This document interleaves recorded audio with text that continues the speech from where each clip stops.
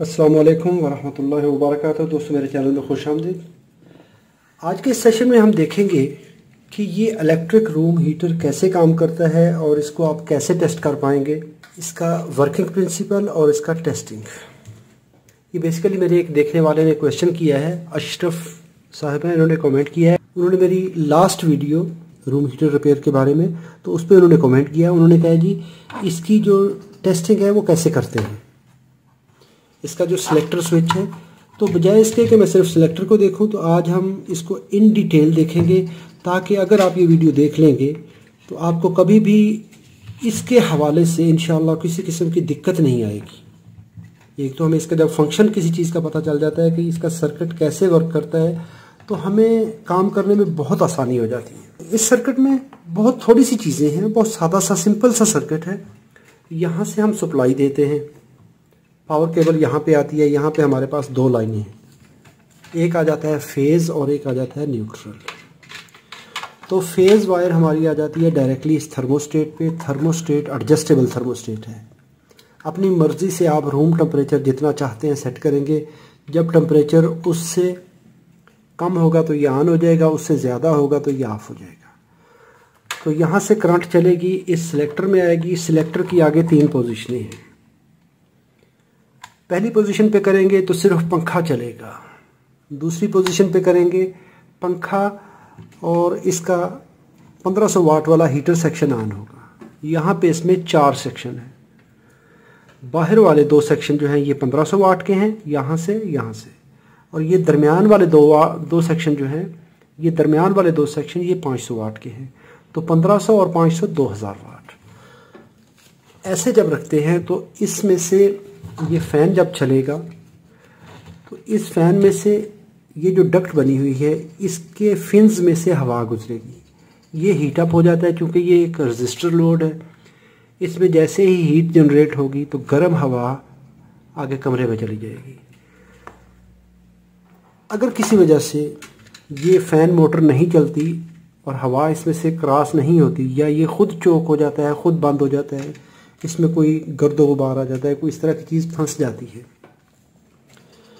उस वक्त क्या होगा कि ये ओवर हीट होगा। चूँकि ये ओवर हीट होने की वजह से ये लगा हुआ होता है प्लास्टिक बॉडी के अंदर। ये इसकी हाउसिंग है। इसके अंदर लगा होता है। अगर इसका टेम्परेचर बहुत ज़्यादा बढ़ जाए तो ये प्लास्टिक है, पिघल जाएगी, आग लगेगी। तो उस चीज़ से बचाने के लिए यहाँ पर ये पीटीसी स्विच लगा होता है। ये पोली स्विच होता है। ये बिल्कुल थर्मोस्टेट से मिलता जुलता होता है। थर्मोस्टेट एडजस्टेबल होता है, लेकिन ये फिक्स है। थर्मल स्विच है तैंतालीस डिग्री से लेके पचासी डिग्री तक ये ऑन रहेगा। यानी इसकी वर्किंग विंडो जो है, जैसे ही हम इसको ऑन करते हैं टेम्परेचर कम है तो ये इसका कॉन्टैक्ट मेक रहेगा, यहाँ से करंट गुजरती रहेगी, हमारे सिस्टम को जाती रहेगी। जैसे ही टेम्परेचर पचासी डिग्री से बढ़ेगा तो ये ओपन हो जाएगा, और उस वक्त पूरा सिस्टम ऑफ़ हो जाएगा, जब तक कि ये दोबारा ठंडा नहीं हो जाता। और इसके जो क्लोजिंग टेम्परेचर है, वो तैंतालीस डिग्री या पैंतालीस डिग्री के करीब आएगा तो फिर से ऑन हो जाएगा। बेसिकली ऑन होगा, जैसे ही ओवर हीट होगा, पचासी पे कट कर देगा। और उस वक्त तक ये कट रखेगा, जब तक टेम्परेचर इस इन्वायरमेंट का 45 डिग्री नहीं होता। जैसे 45 डिग्री होगा ये फिर से मेक करवा देगा। तो ये इसका मेक ब्रेक है। अभी इसका सर्किट देख लें। सर्किट मैंने ड्रा किया है ताकि हम इसको आसानी से समझ सकें। यहाँ पर देखेंगे तो ये न्यूट्रल वायर है, न्यूट्रल को देख लेंगे, न्यूट्रल यहाँ से चली, ये हमारा पीटीसी स्विच है। और बास के अंदर, इसके सीरीज़ के अंदर एक थर्मल फ्यूज़ भी लगा हुआ होता है। तो वो थर्मल फ्यूज़ ओवर हीट होने पे वो ओपन हो जाता है। उसके बाद आप उसको दोबारा से रिप्लेस करेंगे फ्यूज़ को। इसमें सिर्फ़ ये प्रोटेक्शन लगी है थर्मल प्रोटेक्शन और बास के अंदर यहाँ पे प्रोटेक्शन प्लस फ्यूज़ होता है। इसके बाद ये करंट चली जाएगी हमारी इन कॉमन लाइन पर। ये कॉमन है, एक हमारा डीएस लगा हुआ है नियॉन लगा हुआ है, जो कि इंडिकेटर है। साथ में इसकी फ़ैन मोटर को और दो हीटरों को लो हीट और हाई हीट इन सबको कॉमन मिल जाएगा। यहाँ से फ़ेज़ आता है फ़ेज़ आने के बाद थर्मोस्टेट पे आ जाता है। थर्मोस्टेट एडजस्टेबल है, अपनी ज़रूरत के मुताबिक एडजस्ट करेंगे। रूम टेम्परेचर जैसे ही इससे कम होगा तो ये मेक कर जाएगा। मेक करेगा करंट यहाँ पे आ गई। आगे इसकी पोजीशन है चार। ऑफ़ पोजीशन पे पूरा सिस्टम ऑफ़ है करंट किसी साइड पे नहीं जाएगी। नंबर वन पोजीशन पे करेंगे तो फ़ैन को ये करंट जाएगी और साथ में हमारी फ़ैन मोटर चलेगी और इंडिकेटर ऑन होगा। पोजीशन नंबर टू पे कर दें। तो इस वक्त क्या होगा कि ये फ़ैन और ये पहला हीटर ये दो चीज़ें ऑन होंगी इकट्ठी। हीटर लो सेक्शन ऑन होगी 1500 वाट वाली, मोटर चलेगी। गर्म हवा फेंकेगी, कमरा गर्म हो जाएगा। जैसे ही टेम्परेचर उस रेंज पे पहुंचेगा, जो इसकी सेटिंग है, जो हमने अपनी मर्ज़ी से सेट की है तो क्या होगा कि यहाँ पर ये उसको ओपन करवा देगा। जैसे ही ओपन करवाएगा, ठंडा होगा, दोबारा टेम्परेचर डाउन होगा, फिर मेक कर जाएगा और ये चलता रहेगा। अगर हमने फुल हीट लेनी है, इस पर कर देते हैं। तो फुल हीट पे फ़ैन पहली पोजीशन दूसरी पोजीशन यानी चारों सेक्शन ये इकट्ठे ऑन हो जाएँगे। इंडिकेटर भी मोटर भी, पहला हीटर दूसरा हीटर तो ये सारा सेक्शन ऑन हो जाएगा, उस वक्त फुल हीट प्रोड्यूस होगी। अगर ये हम डायग्राम समझ जाएँ तो हमें फ़ौरन से फॉल्ट पॉइंट पता चल जाता है कि कौन सा काम नहीं हो रहा, कहाँ से नहीं हो रहा। तो ये डिपेंड करता है सिलेक्टर पे। सिलेक्टर किसी भी कॉन्फ़िगरेशन का हो सकता है, छोटा है, बड़ा है, ऊपर वाली पोजीशन पे लगा हुआ है नॉब वाला है, जो भी है। तो उसका एक्शन ऐसे रहेगा। पहली पोजीशन पे फ़ैन चलेगा, दूसरी पोजीशन पे फ़ैन और हीटर चलेगा, तीसरी पोजीशन पे फ़ैन और दोनों हीटर चलेंगे। चलिए इसको टेस्ट करते हैं। सबसे पहले हम टेस्ट करते हैं पावर केबल कंटिन्यूटी पे मल्टीमीटर रख लीजिए। और एक लीड पे हम लगा देंगे।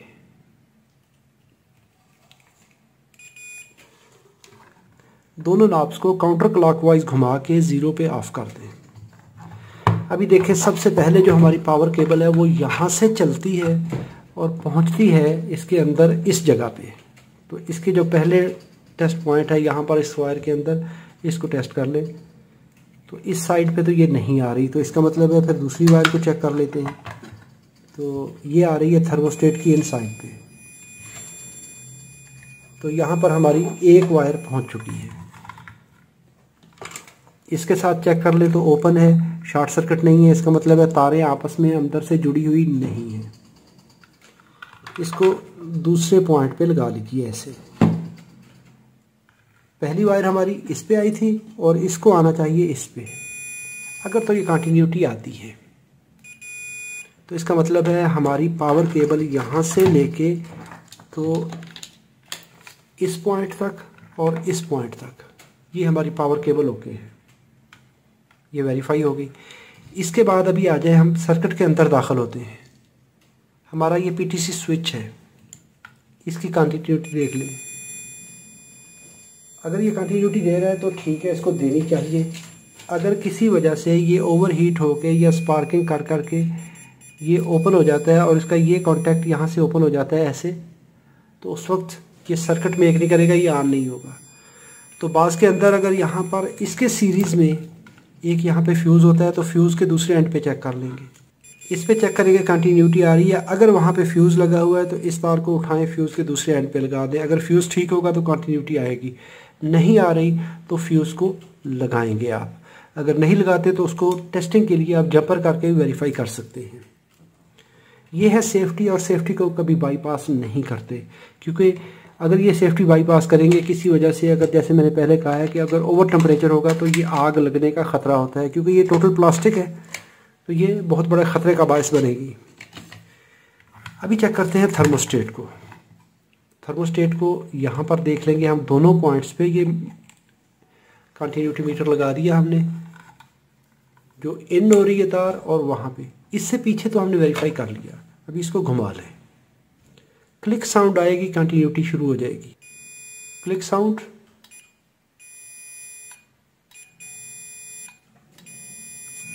रेजिस्टेंस पे है तो रेजिस्टेंस चेक कर लें तो ज़ीरो हम। ऑफ़ करेंगे तो ऑफ़ हो जाएगा। ऑन करेंगे तो ज़ीरो हम आएगा। इस तरह से आप इसको थर्मोस्टेट को हमने चेक कर लिया। अभी एक तार को, ये जो इसकी आउटपुट साइड है, इस पे लगा दें। अभी हम इससे अगला सर्किट चेक करते हैं। एक टेस्ट एक टेस्ट लीड यहाँ पे लगा दें। अभी हमारा ये सिलेक्टर आ जाता है तो सिलेक्टर की चार पोजीशन है। पहली पोजीशन ऑफ़ पोजीशन है। जब ऑफ़ पे होता है तो किसी पे करंट नहीं जाएगी। इसको देख लें। इस पर कंटिन्यूटी नहीं आएगी। ब्लू तार पे देख लें, नहीं आएगी। इस पर भी नहीं आएगी। पहली पोजीशन पे कर दें तो सिर्फ़ फ़ैन पे कंटिन्यूटी मिलेगी आपको, ये। इस पर मिली। इस पर कोई चीज़ नहीं मिली। इस पर कोई चीज़ नहीं मिली। अभी इसको आप कर दें पोजीशन नंबर वन पे। पहली पोजीशन पे करेंगे तो फ़ैन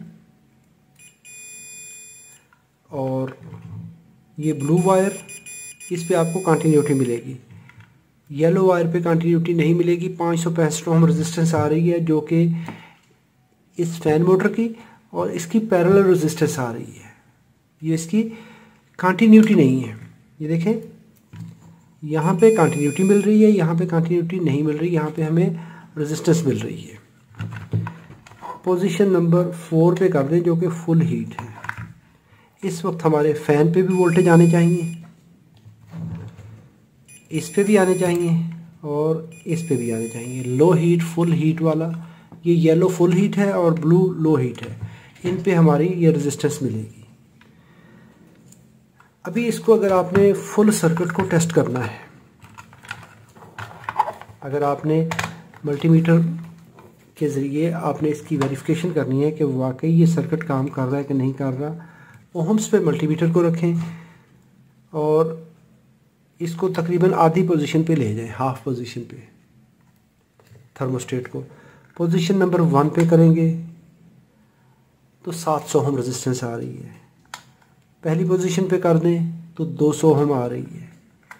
अगली पोजीशन पे कर देंगे तो 130 हम रेजिस्टेंस आ रही है। इस वक्त ये फुल हीट पे है।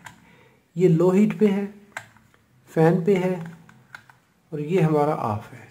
इस तरीके से आप इसके कनेक्शन वेरीफाई कर सकते हैं। अभी इसकी हम लाइव टेस्टिंग कर लेते हैं। क्योंकि मैंने इसको खोला हुआ है तो फ़ैन हमने अलहदा रखा हुआ है। अभी इसको थोड़ी थोड़ी देर के लिए मैं ऑन करूँगा, ताकि जो हमारा ये हीटिंग एलिमेंट है, ये बहुत ज़्यादा गर्म नहीं हो। क्योंकि टेस्टिंग के लिए इसको यूज़ करना है। अभी सबसे पहले क्या करेंगे कि मैं एसी वोल्टेज पे इसको रख देता हूँ। थर्मोस्टेट को मैं ऑफ़ कर देता हूँ, इसको भी ऑफ़ कर देता हूँ। कोल्ड टेस्टिंग हमने देख ली है, अभी इसकी लाइव टेस्टिंग देख लीजिए अभी मैं पावर अप्लाई करता हूँ, अगर आपको पावर इलेक्ट्रॉनिक्स का अच्छा एक्सपीरियंस नहीं है तो कभी भी लाइव सर्किट पे काम नहीं करना। पावर मैंने कनेक्ट कर दी है। पावर कनेक्ट करने के बाद अभी देखें इसको मैं, जब क्लिक आती है तो उससे आगे दरमियान वाली पोजीशन पे सेट कर देता हूँ। इसको पहली पोजीशन पे करूँगा। तो हमारा ये फ़ैन चल गया। तो फ़ैन को सप्लाई जैसे हमने कोल्ड टेस्टिंग में चेक की थी तो अभी इसको सप्लाई मिलनी चाहिए। उसके लिए हम कैसे टेस्ट करेंगे? कि हम एसी वोल्टेज पे रखते हुए एक तो तार हम लगा देंगे यहाँ पर, इस पे लगा दें या यही तार यहाँ पर, ये कॉमन पॉइंट पे, ये हमारा कॉमन है तो यहाँ पे लगा देते हैं। ये कॉमन पे लगा दी और अभी हम जो वोल्टेज हैं उनको टेस्ट कर सकते हैं। ये देखिए, इस थर्मोस्टेट की इन पे वोल्टेज आ गए, इसकी आउट पे वोल्टेज मिल रहे हैं। अगर इसको मैं ऑफ़ करूँगा तो ये वोल्टेज जैसे मैं इसको ऑफ़ करूँगा तो ये वोल्टेज ऑफ़ हो जाएँगे। तो सप्लाई आगे पास नहीं होगी। अभी थर्मोस्टेट काम कर रहा है सप्लाई हमारी आगे जा रही है, लेकिन सप्लाई इस पर आउट नहीं हो रही। तो अगर सप्लाई आउट नहीं हो रही फ़ैन नहीं रोटेट हो रहा तो उस वक्त हम इसको चेक करेंगे। अभी देखें तो ये सप्लाई आउट हो रही है मीटर शो कर रहा है। अभी मैंने इसको ऑन किया सप्लाई मिल रही है। ऑफ़ किया सप्लाई ऑफ़ हो गई। इसको हर पोजीशन में, इसको सप्लाई मिलेगी हर हाल में फ़ैन को। क्योंकि फ़ैन ने हर वक्त चलना है, ये इसकी मजबूरी है, वरना ये हीट एक्सचेंज नहीं करेगा। अभी हम इसको लगाते हैं लो हीट पे। मैं थोड़ी देर के लिए ऑन करूँगा, क्योंकि अगर हम बहुत देर के लिए ऑन करेंगे तो ये इसकी जो हीटिंग एलिमेंट है, वो गर्म हो जाएगा। पहले पे रखेंगे वोल्टेज नहीं आएँगे। लो हीट पे करेंगे सप्लाई मिल गई। ऑफ़ कर देता हूँ।